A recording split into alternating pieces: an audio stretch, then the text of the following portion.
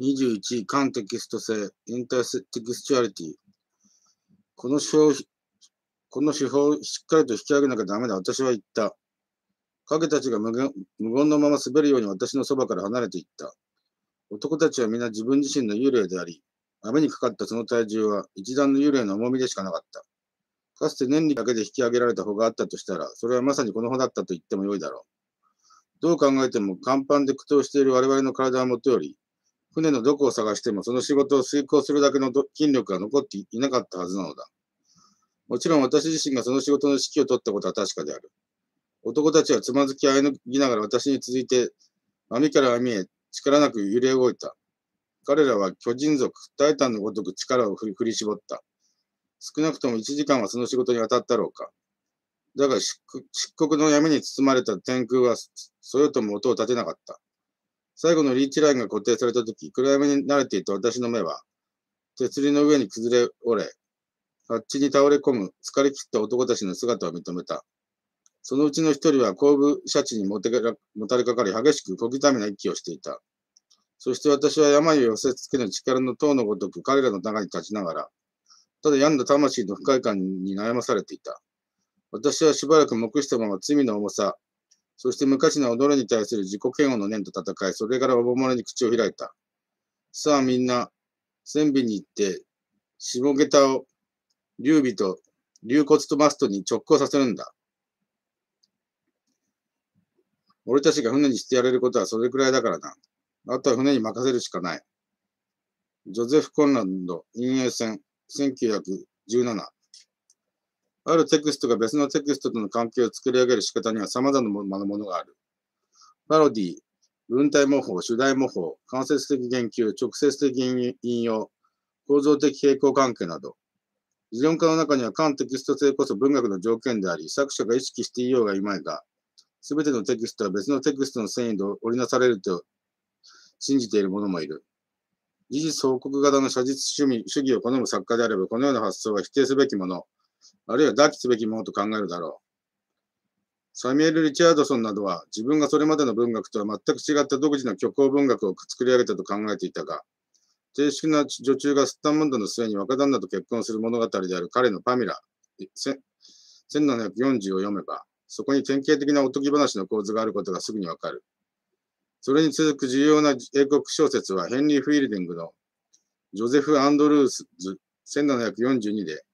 これはまずパミラのパロディの形で始まるのだが、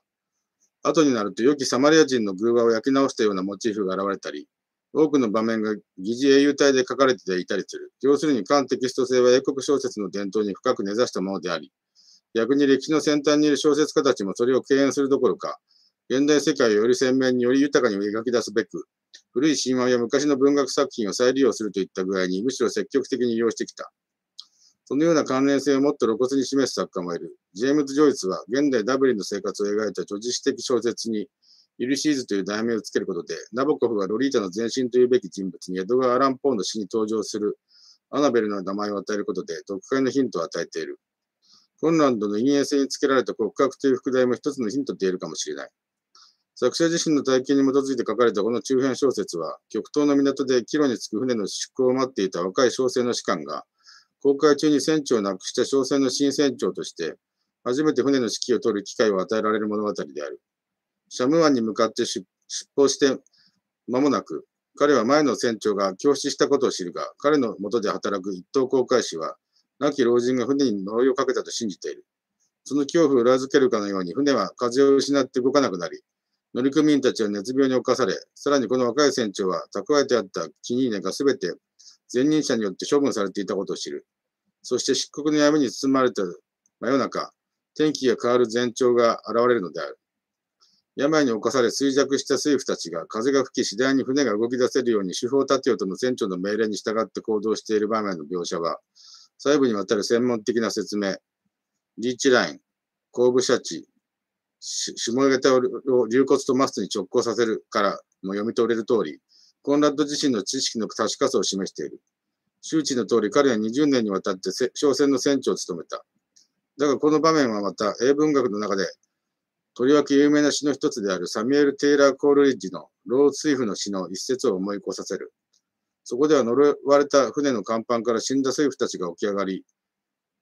策具を取るのである。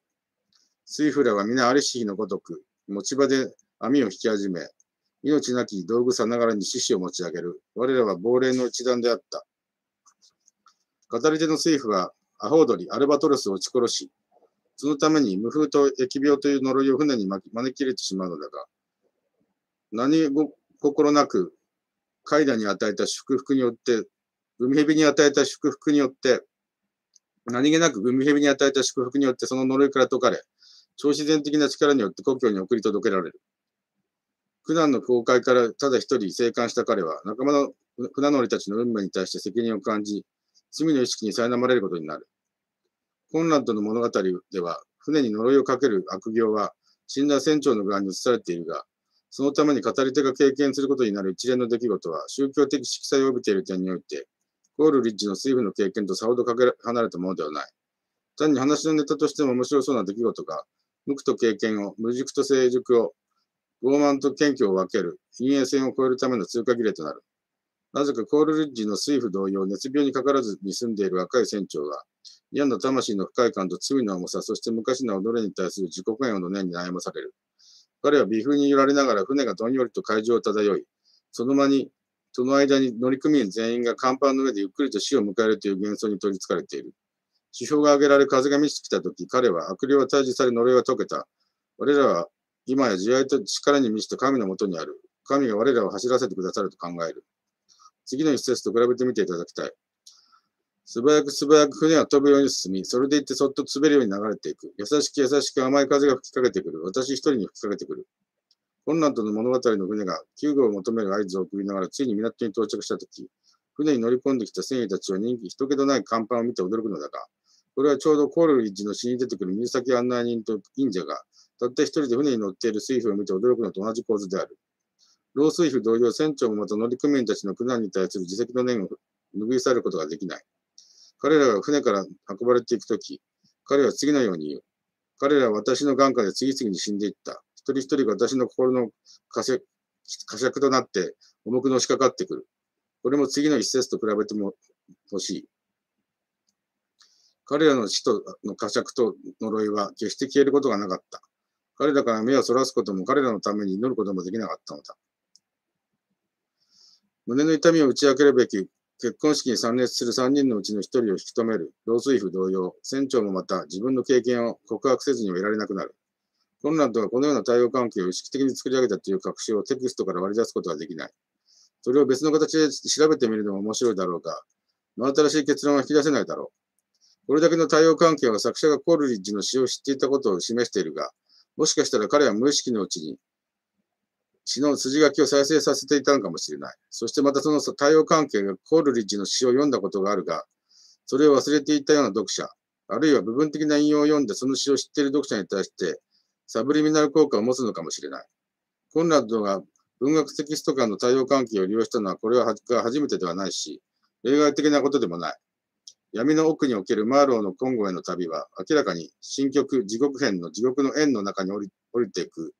ダンテの旅と並行関係にあるし、後期の小説、勝利もシェイクスピアの嵐を下敷きにしているのである。ジェームズ・ジョイスのユリシーズは、おそらくカンテキスト形に基づいて書かれたものとしては、現代文学の中で最も高い評価が与えられ、最大の影響力を持つ作品であろう。この小説が1922年に出版されたとき、テース・エリエットは枠組みとしてのオデュッセアのより用い方を称賛し、現代と古代との間に連綿と続く平行関係を作り上げる見事な見事な思想であり、驚くべき技法革命であり、さらに芸術にとって現代世界を可能にするな、可能な場にするための大いな一歩であると言った。エリオットはそれまで数年にわたって分冊の形でジョイスの小説を読み、そのその間、自らも、ま、やはり現代と聖杯伝説との間に連綿と続く平行関係を作り上げつつ、対策荒れ地、同じく1922年出版を執筆していたところになるから、イルシーズに対する彼の称賛の言葉はある意味では謝辞でもあり、マニフェストでもある。だが、いずれの作品においても、カンテキスト性は一つの先行作品だけに依拠しているわけではないし、また構造的な並行関係に限られているわけでもない。アレチは様々な先行作品と響き合っているし、ユーシーズの方は、あらゆる類のテキストを元にして、パロディ、文体模倣、引用、関連性の暗示などを試みている。例えば、場面が新聞社に設定された章では、変遷するジャーナリズムの文体を模した見出しを立てて説を区切り、別の章などは、主に低俗な女性雑誌の文体で書かれ、さらに参院に設定された別の章では、古英語の時代から20世紀までの英語3文の歴史的変化がそのままパロディにされている。私は30年近くにわたって創作と研究活動と一緒に行ってきたから当然のことながら、私の小説がますます多くのカンテクスト性に依拠するようになったのも驚くには与えない。そしてこの点においてはジョイスとエリオット、特に前者の影響が多大である。大英博物館が倒れる中のパロディは、一日で関係する物語展開とともに、ユリシーズからヒントを得たものであり、その最終章は、モリー・ブルームの独白をひねったものだ。小さな世界の原点ともいえる発想が生まれたのは、世界中を優雅に飛び回って国際学会に出席しながら、学問と性生活の両面において張り合っている学会の者たちを面白おかしく、皮肉たっぷりに描き出す小説の原型を、アーサー王と円卓の騎士の物語、そして聖杯探索の旅に求めることができそうだと考えた時である。特に面白そうだと思ったのは、エリオットが荒地を書くにあたって種本にしたジェシー・レール・ウェストンの本におけるアーサー王伝説の解釈であった。これらの小説の原点となった発想については、すでに別別のところに書いたとけれども、ここで改めて持ち出したのは、カンテキスト性が決して、あるいは必ずしもテキストのおまけとしての単なる飾りではなく、構想と創作において重要な役割を果たし得ることを明確にしたかったからである。しかしながら小説作法には作家のみが知っている。多くの場合、完璧スト性と関係する別の側面がある。それはすなわちチャンスの喪失である。本を読んでいると必ず自分の作品と響き合っていたり、平行関係にあったり、あるいはそれを先取りしているような箇所に出くわす。それも自分の作品がすでに仕上がってしまって、その発見を利用することができなくなってからだ。小さな世界の終わりの方にいつも決まってクレームをし迫ってから開かれる近代語学会の場面がある。主人公のバース・マクガリグルが、批評の機能に関するセミナーで大成功を収めたこと、あと、天気に驚くべき異変が起こって暖かい南風が吹き寄せ、その時期のマンハッタンでは前例のないような気温を記録することになる。この本の神話的枠組みにおいてこの出来事は、聖杯伝説に現れる魚人の王の吹き不毛な王国が、聖杯を探し求める騎士が呪いを解く鍵となる質問をしたために、突如として肥沃になるというエピソードに対応している。会議を取り仕切る現代評会の大御所、アーサー・キング・フィッシャーは、性的不動の呪いが奇跡的に解けていくのを感じる。彼は韓国人韓国人の愛人、ソンミに次のように語る。まるでハルシオン容器。当時の頃に訪れた穏やかな天気のようだ。古代人はこういうのをハルシオン容器と呼んだ。カワセミが晴天の卵を温めていると信じられていたからね。ミルトンを覚えているかい？魔法にかかった波を鳥が温めているという草。あの鳥はカワセミなんだ。それをギリシャで語でハルシオンって言うんだよ。ソンミ、余人の王様カワセミのことをね、ハルシオン容器というのは余人の王様の容器なんだ。すなわち私の容器、私たちのための容器なのさ。同性引用させるなら、さらに次のような大あつらい向きの修行もあったのだ。川雨容器に吹くそよ風を満面に受け、八つの方が船を進める。そして次のようなセリフを付け加えると面白かった。これは荒れ地の中でもとびきりの名文だけど、エズラ・バウンドはトム・エリオットに、そこは削った方がいいと言ったのさ。残念ながら、バレリー・エリオット編のエズラ・バウンド中会、荒れ地、原稿ファクシミリ、ファクシミリと印刷走行に載っているこの2行を知ったのは、小さな世界が出版されてからしばらくのことである。